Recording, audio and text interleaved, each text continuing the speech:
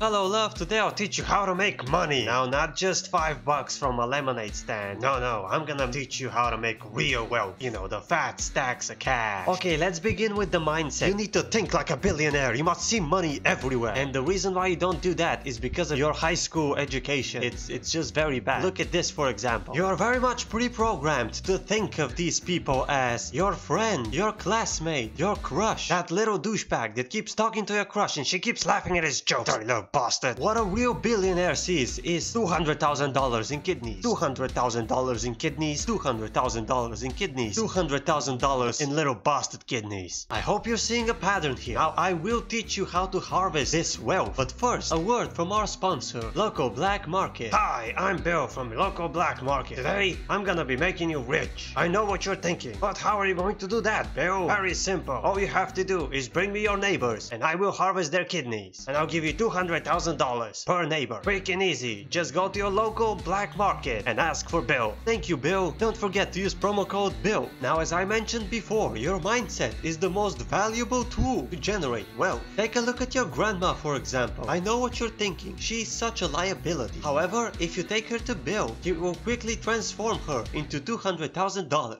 Thanks grandma. And I know you're pretty smart and you're already thinking, what about my girlfriend? That's right, Bill can absolutely transform her into $200,000 as well. However, if you watch my video next week, I will show you how to transform your girlfriend into your wife, which will automatically make her into money printing machine. Until next week.